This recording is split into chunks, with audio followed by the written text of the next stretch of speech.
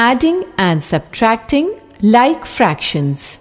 Teacher Nancy has a pizza cut in 8 parts. She serves 2 parts out of 8. Judy serves 1 part in her plate. Nancy ma'am explains this. She adds 2 eighth and 1 eighth. As they are like fractions, she adds 2 and 1 over the denominator 8 and gets 3 eighth. This time again, Nancy ma'am has a pizza cut into 8 equal parts. She serves 3 parts into her plate. In comes Judy, who takes one part from Nancy ma'am's plate. Nancy ma'am writes this on the board. She had 3 eighths of the pizza. She subtracts 1 eighth that Judy took and gets 2 eighths. Nancy ma'am eats and drinks maths.